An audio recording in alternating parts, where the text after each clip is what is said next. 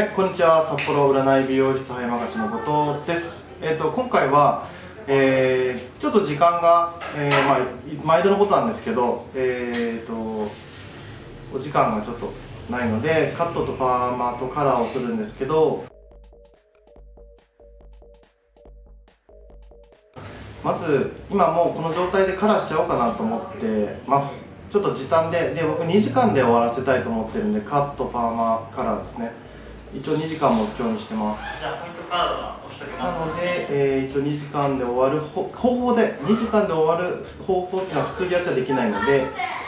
えー、その方法でやっていきたいと思います。でパーマは、えーと、波ウェーブをやっていきます。で、えーと、波ウェーブのパーマってなかなか難しいんですけど、えー、で今回難しいのは彼女結構癖がちょっといいですか？癖毛が結構あってもう強制強制デジパーかけないとダメなんですよね本来だったらもう中もうねりがすごくて結構ごめんねすごすごいって言っても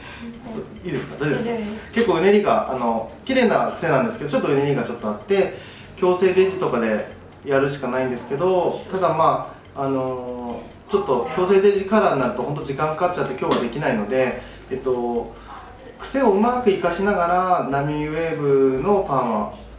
ていうのをちょっと、えー、時短でやっていく方法っていうのを、えー、お伝えします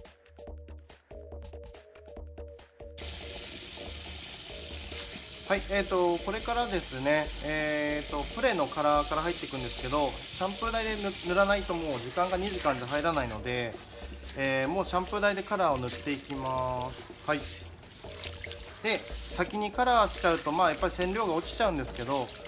えー、もうあのパーマがやっぱりちょっと今日は中心にいこうかなと思うんで可愛らしい方がいいかなと思ったんでピンク系を混ぜております。カラーの方はですね。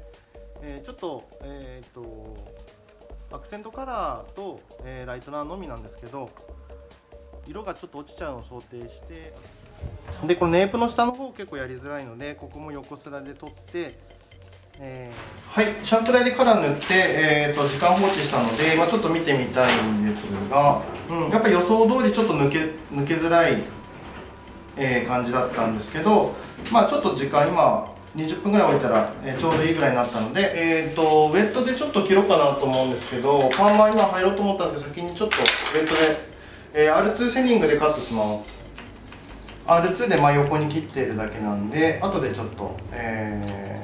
ー、ちょっとシースルーっぽくしていくので。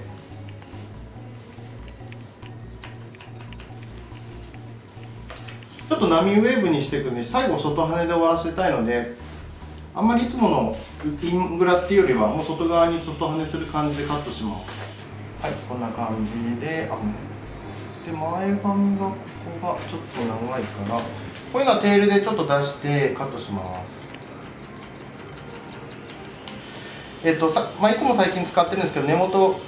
根元じゃない顔周り1本目。基本的に段はあんまり入れないんですけど表面ちょっとグラ、えー、ちょっと段差入れたいですね。ここも R R2 でいっちゃいます要はそのパーマの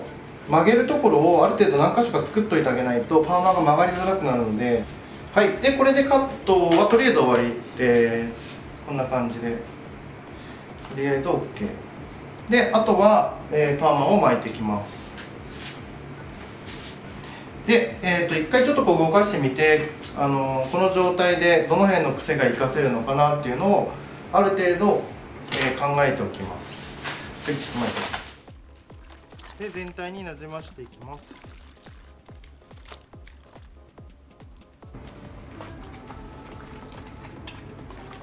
なじます時は手でこのような感じに、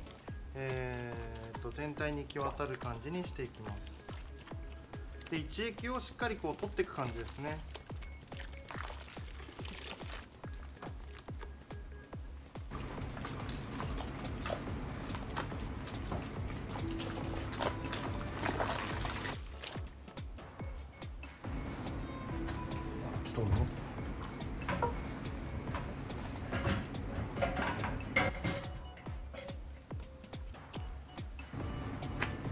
枕を入れます。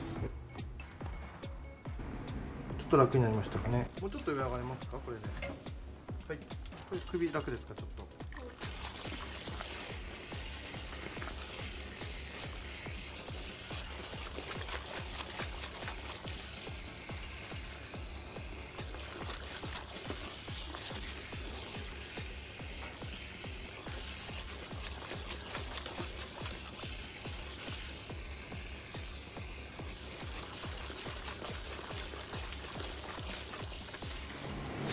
普段はもう自然乾燥でいいのかなっていう感じがしますね。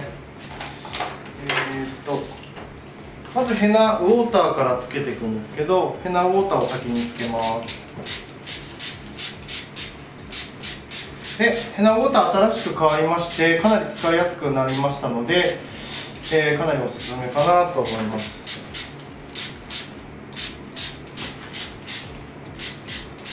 であのこれヘナヘナの商品ってあの釜汚しちゃうので工場で作れないんですよ基本。なのでちょっと特別に作れてるので他では多分買えないと思います。でこれヘナウォーターじゃなくてヘナジェルを今度つけます。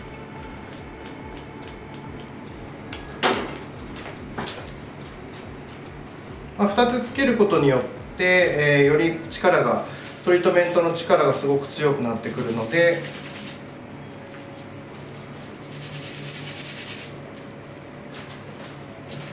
えーと、リッチ感も結構綺麗に出たりとか、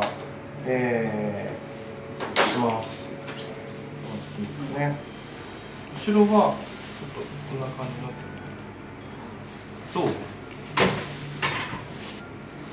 あこれか。これはコテで巻いてるからこれをちょっとほぐすとこういう感じになるかな。で前髪はちょっとこう束感を作った感じにちょっとやってください。はい。こんな感じで終わりです。